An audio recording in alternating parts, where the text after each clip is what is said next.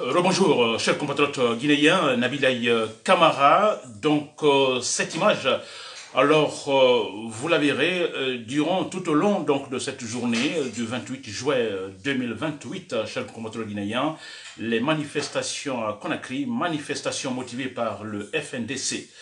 N'est-ce pas, chers compatriotes guinéens? Alors, euh, sur place, hein, moi je pense que D'ailleurs, il y a satisfaction. Nous pouvons, pour ceux qui écoutent euh, Film FM en live, euh, donc euh, c'est une confirmation.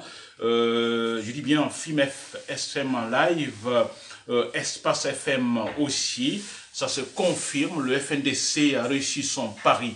C'est très important, cher compte guinéen. Je disais tout, tout de suite euh, dans mon direct précédent euh, que le simple fait que les militaires donc se présentent euh, disons, sur les artères de la ville de Conakry, n'est-ce pas, tirant même des balles, disons, à l'air, c'est une victoire pour le FNDC, le but étant de nous faire entendre, donc faire entendre effectivement, donc au niveau de la communauté internationale, aussi euh, nous faire entendre, disons, du côté des barbares au pouvoir. Chers guinéens, c'est une belle victoire, c'est à eux, les barbares, donc, de tirer des conséquences parce que les manifestations doivent continuer. Vous comprenez, ça doit continuer, chers compatriotes guinéens. Oui, ils sont des barbares, je précise bien, ils sont des barbares, parce que les barbares, ils ne connaissent que la force physique, ils ne sont pas intelligents. N'est-ce pas? Ils se disent qu'ils défendent l'ordre public. N'est-ce pas? Alors, si vous notez très bien, euh, de simples manifestations pacifiques en aucun cas peut, une manifestation, une marche pacifique, en aucun cas peut créer des troubles dans la société. Mais eux, leur réaction, leur orgueil, finalement, tout cela pousse finalement à atteindre l'objectif, de toute façon, à ce que cela se réalise, euh, cela ou cette action qu'ils pensent être malheureuse pour la Guinée. Le désordre, ce sont eux qui créent donc le désordre en Guinée. Ce sont ceux, eux, chers compatriotes guinéens. Il est très clair, c'est une marche pacifique.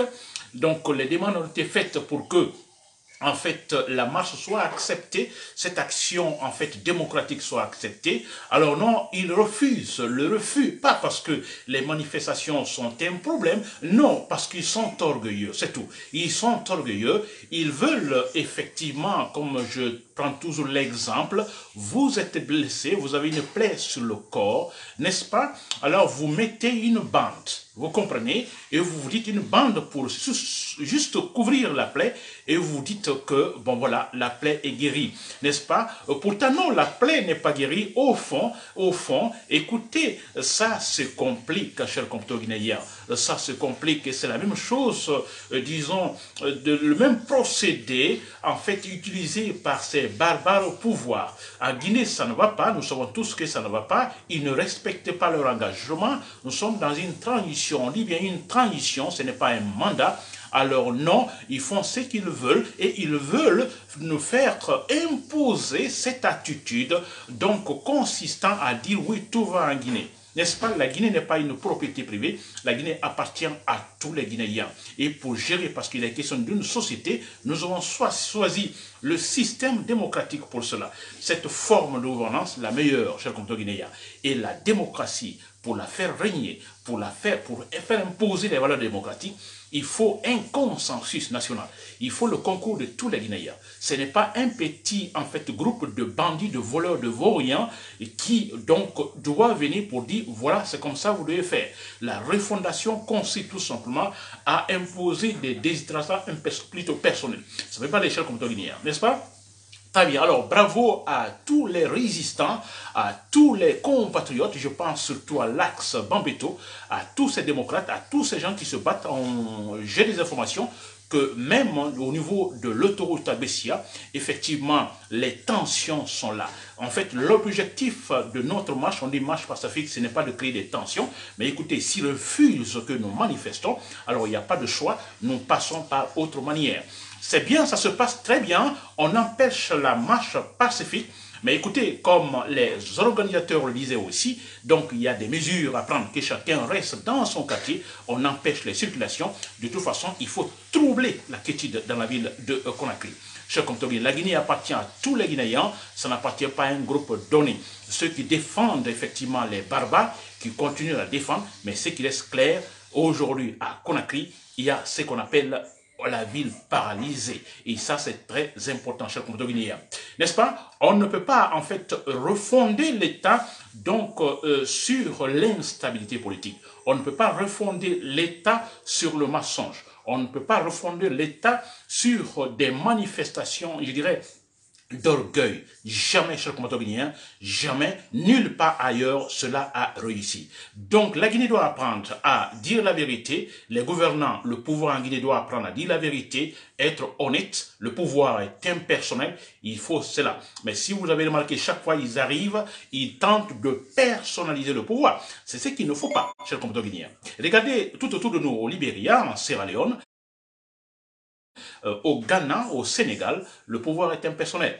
Vous comprenez? Et chaque fois qu'une telle en fait, attitude politique se présente dans un pays en disant le pouvoir est impersonnel, je suis là, par exemple, pour un mandat bien donné, je, je fais cela, je dégage.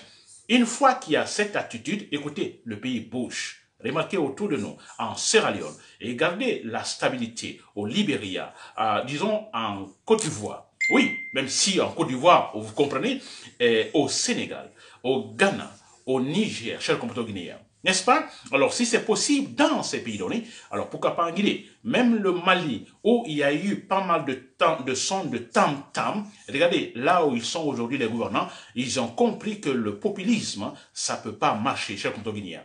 24 mois de transition, c'est ce qu'il faut. Actuellement, c'est accepté par le pouvoir malien. Également au Burkina Faso, 24 mois, chers compatriotes guinéens. Parce que là, ce ne sont pas des orgueilleux. Même s'ils sont des orgueilleux, là, ils ont quand même du respect pour les partis politiques, respect pour la population. En Guinée, nous avons non seulement des orgueilleux, ils sont des orgueilleux qui ne savent absolument rien des barbares, mais ils n'ont aucun respect pour la Guinée. Aucun respect pour les Guinéens. Voilà, chers compatriotes guinéens, une attitude donc qui doit finir. On doit mettre fin à tout cela. C'est bien ce qui se passe aujourd'hui grâce au FNDC. Nous attendons également les patriotes, les forces militaires, les soldats militaires qui sont dans les camps. J'ai dit, il n'y a pas de pitié. La Guinée appartient à tous. Il est question de défendre l'intérêt, disons, de tous les Guinéens, n'est-ce pas? Alors nous attendons de leur côté que les patriotes aussi dans l'armée réagissent, cette fois-ci avec les armes pour balayer les, disons, barbares, les inintelligents qui ne savent absolument rien, chers Guinéens. N'est-ce pas? Alors, l'information continue. Donc, je suis ce qui se passe actuellement, disons, en Guinée. Donc, je pourrais à tout moment intervenir pour mettre les points sur les i, chers Guinéens. Je répète l'information, la ville Conakry est paralysée et c'est bien que les manifestations ou la marche pacifique est empêchée, c'est vrai, ça, ça ne surprend pas, mais je vous le dis très bien, le fait que les activités soient totalement, je dis bien totalement, absolument ralenties à Conakry, c'est une victoire du FNDC, cher C'était Nabil Kamara depuis Bruxelles, merci pour le coup de Bonne journée.